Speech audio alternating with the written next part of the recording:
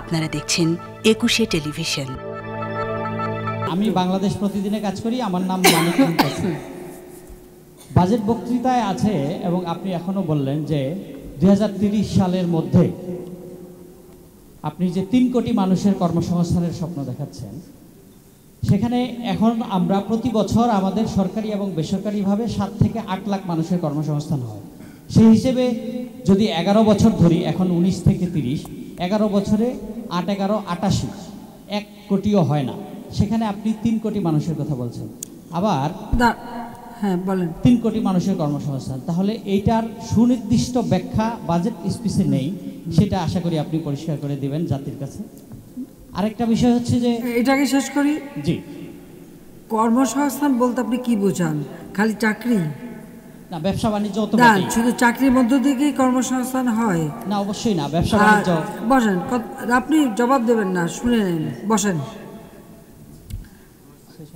আপনি বসেন। কর্মসংস্থানের কথা আমরা বলেছি চাকরি দেওয়ার কথা বলিনি।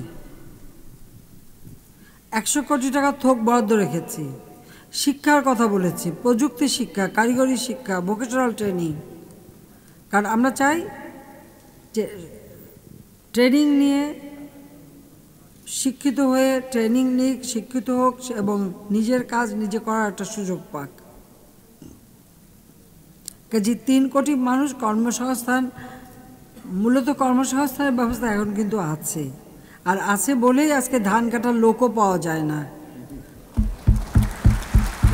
আপনি ধান কাটার জন্য এখন লোক পাওয়া যাচ্ছে না কেন? যদি এত বেশি বেকার থাকে তাহলে তো যে ধান কাটলে দিনে চারশো, পাঁচশো টাকা পাবে।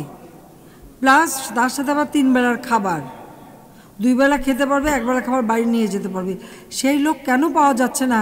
এটাকে একবার বিবেচনা করেছেন? যেহেতু কর্মসংস্থার সুযোগ সৃষ্টি আছে বলেই এখন ধান কাটার লোকের অভাব হচ্ছে। আমরা কর্মসংস্থার কথা বললেই সবার ধারণা হয়ে যায়, সব চাকরি দেওয়া। ষোলো কোটি মানুষকে কি চাকরি দেওয়া যায়? পৃথিবীর কোনো দেশ দেয়। আর কোনো মানুষকে একটা চাকরি নিয়ে বসে থাকে সারা জীবন। কিন্তু মানুষ যেন কাজ করে খেতে পারে সেই সুযোগটা সৃষ্টি করা। এই যে একশোটা অঞ্চল আমরা তৈরি করছি, বা প্রতিনিয়ত এই যে প্রজেক্টগুলি হচ্ছে, এক একটা প্রজেক্ট সম্পন্ন হলে কত মানুষের কাজ হবে, চাকরি হবে তারা নিজেরা সেখানে কাজ করতে পারবে, কর্মসংস্থানের সুযোগ হবে। কাজে আপনার ওই অঙ্ক তো ভুল অঙ্ক।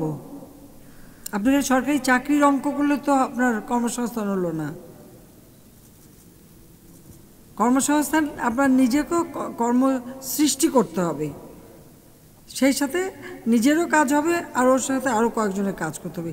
সেটাই আমরা বলতে চাচ্ছি সে কারণেই এটা সম্ভব। আর সম্ভব তো এখনই তো সম্ভব দেখছি আমি। নইলে কৃষক আপনাদের পত্রিকায় দেখেছি বা অন্য অনেক পত্রিকায় দেখেছি, ধান কাটার লোক পাওয়া যায় না, তারা আরও বেশি টাকা চায়। তাহলে আপনার এই যে শ্রমের যে মূল্যটা বেড়ে গেছে, এবং তাদের ডিমান্ড বেড়ে গেছে আজকে বেকার লোকের অভাব আছে বলেই তো বেড়ে গেছে, সেটা একটু বিচার করে দেখেন।